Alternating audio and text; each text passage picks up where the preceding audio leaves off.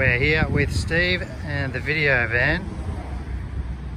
Steve's just had the buck boost and 48 volt lithium system installed into his vehicle. Steve, what do you think? I love it, Ben. Great system. It's going to be awesome on set. What's the purpose of the vehicle?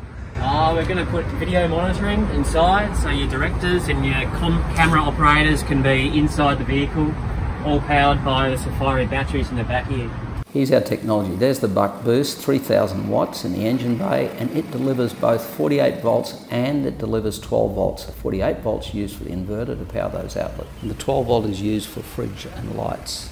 Now let's look at the actual results here that we obtained and the alternator here is putting out up to 1620 watts. You can see in the bottom of the screen there. And this is why we call it Scotty. It beams up to 48 volts and it beams down to 12 volts.